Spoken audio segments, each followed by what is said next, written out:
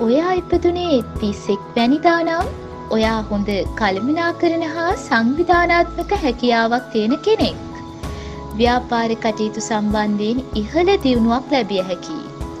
දැඩි කැපවීමකින් වැඩ කරන ඔබ ඉවසීමට සමත් අයෙක් නිසා ඒ මගින් දියුණුවීමට අවස්ථාව තියෙනවා.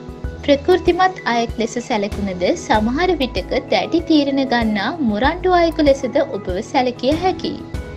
සමහර විටක සංවේදීය. නමුත් තම හැඟීම් පාලනය කිරීමට ඔයා හැම විටම පෙළඹෙනවා.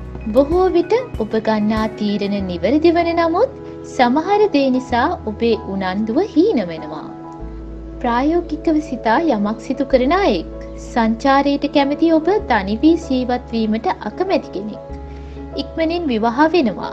වගකීම් දැරීමට හැකි අයෙක් වන නිසා දියුණුවට පත්වෙන්නත් පුළුවන්.